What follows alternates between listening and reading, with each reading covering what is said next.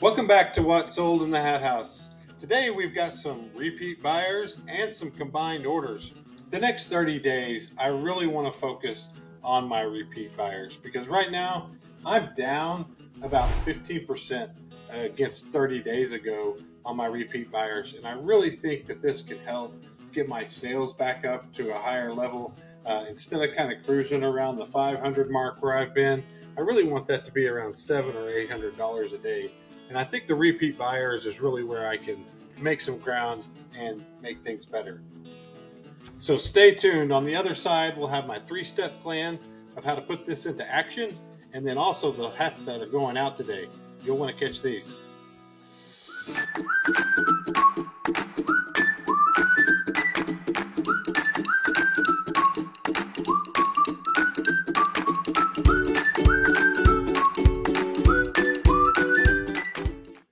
Right, guys, my first course of action is going to be after the sale message. This message is just a simple message that I'm going to say, hey, did you know that I carry 2,000 hats in my store?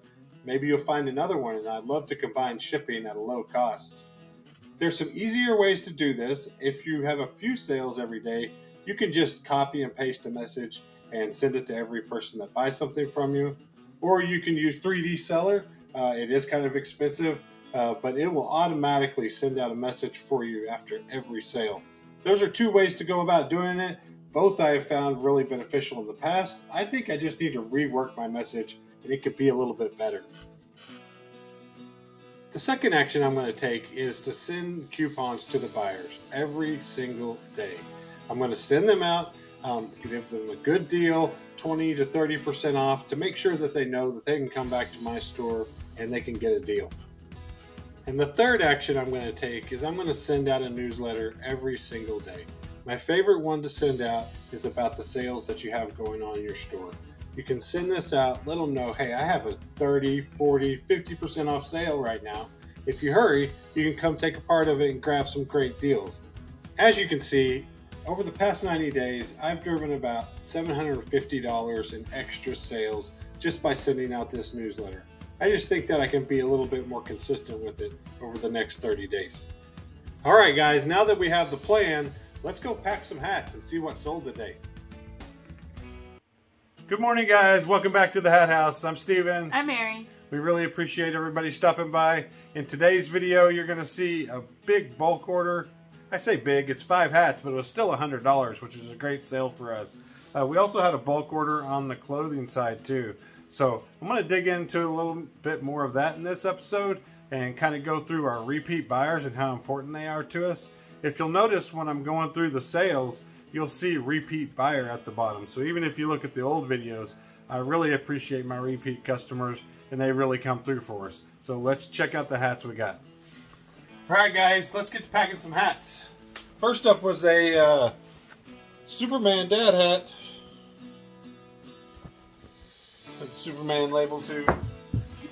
Next up was our bulk order, which is really cool. We really appreciate our repeat buyers, like we said. I'm a Pepper, Dr. Pepper hat. All these are vintage except for one, I think. We had a vintage Smith & Wesson hat. And then this Cheers Boston vintage. Uh, it still had the tag on it. It was really cool. Really good condition. The one you want to look out for on the Cheers hat that can go for like a hundred dollars is the I think it's the game. It's got the big Cheers logo. It's black. Uh, it's like a hundred dollar hat. But this one's still really cool. Then we had a Pepsi patch trucker snapback, nice hat. And then a Sub Pop, which was new to me. I'd never seen this brand before. Or this logo. So really nice order about a hundred dollars for for these hats. Next up was an oregon state beavers zephyr fitted hat seven and three eighths. Next up was an atlanta braves fitted hat. It's a size seven and a quarter probably mid 2000s next up was uh, st louis blues snapback mesh by fanatics Next up was uh, Columbia five panel. Yeah, this one's vintage. made in Taiwan. Really good shape for the being about 20 years old. Next up was a Citgo Racing. Kind of had the shark tooth bill.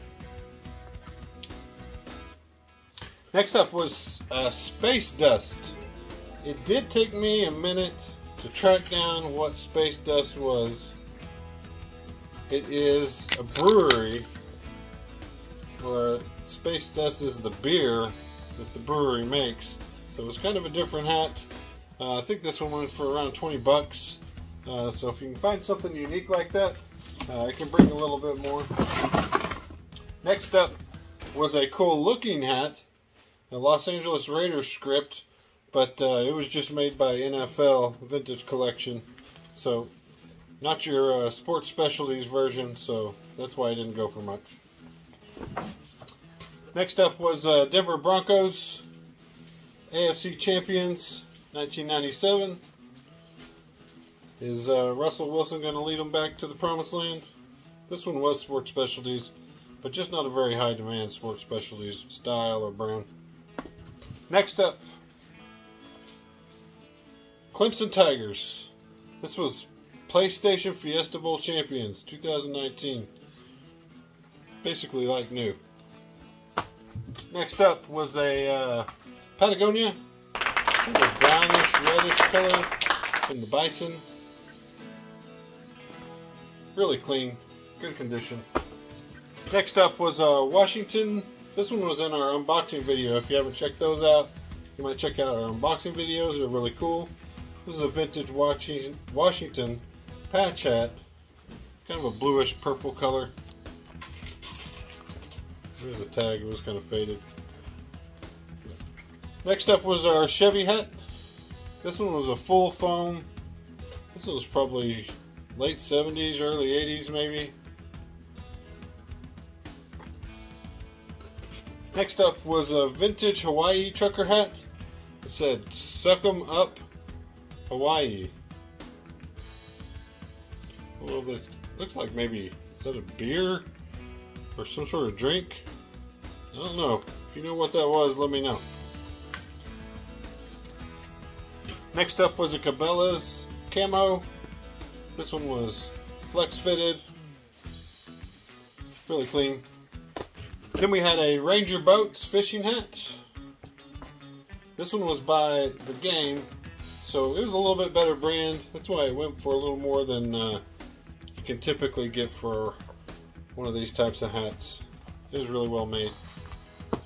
Now we had a Mickey hat, strap back Mickey hat, with cool straps on the side. Then we had a Kappa hat. This was sold on Poshmark, I believe for about $15.